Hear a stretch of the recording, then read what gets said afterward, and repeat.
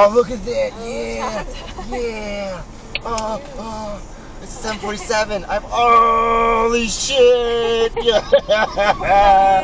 oh, oh, I have the biggest boner right now. Oh my god. Yeah. Hey, you don't even know.